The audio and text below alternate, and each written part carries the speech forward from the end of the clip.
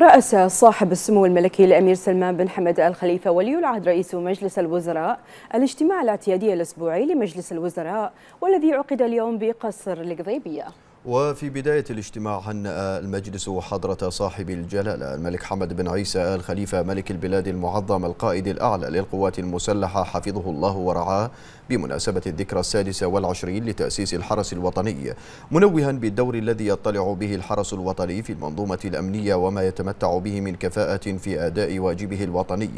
ثم أشاد المجلس بالفعاليات التي أقيمت بمناسبة احتفالات مملكة البحرين بأعيادها الوطنية المجيدة.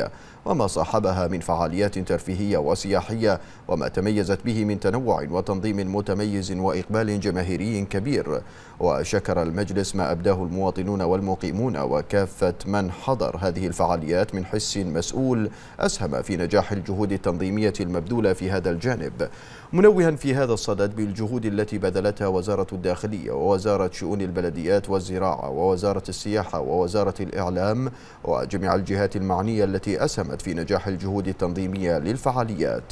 بعدها أدان المجلس الهجوم الإرهابي المسلح الذي استهدف حاجزا أمنيا في محافظة الإسماعيلية شمال شرق جمهورية مصر العربية الشقيقة معربا عن أصدق تعازيه ومواساته للحكومة والشعب المصري الشقيق وذوي الشهداء وتمنياته بالشفاء العاجل للمصابين.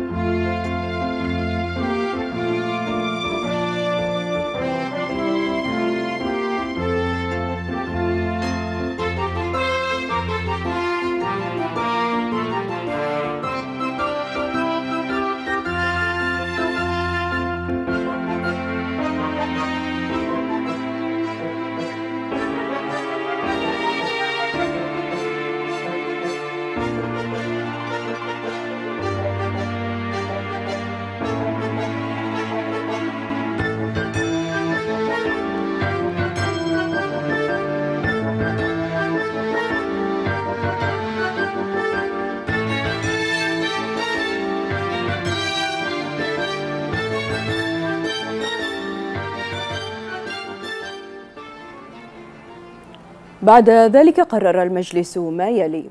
أولا الموافقة على المذكرات التالية. مذكرة معالي وزير الداخلية بشأن تصنيف عدد من الكيانات والأفراد كجهات إرهابية. مذكرة اللجنة الوزارية للشؤون القانونية والتشريعية بشأن مشروع نظام يضع آلية لعمل لجنة محاربة التطرف ومكافحة الإرهاب وتمويله وغسل الأموال وتسهيل ممارسة اختصاصاتها.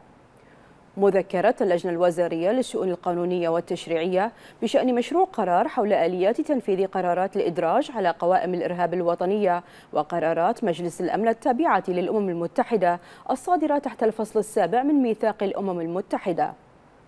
مذكرة سعادة وزير شؤون البلديات والزراعة حول استملاك عدد من العقارات للمنفعة العامة لتوفير المساحة اللازمة للتطوير العمراني. بعدها أخذ المجلس علما من خلال التقرير الوزاري المرفوع من سعادة وزير شؤون مجلس الوزراء بشأن زيارة دولة الإمارات العربية المتحدة الشقيقة.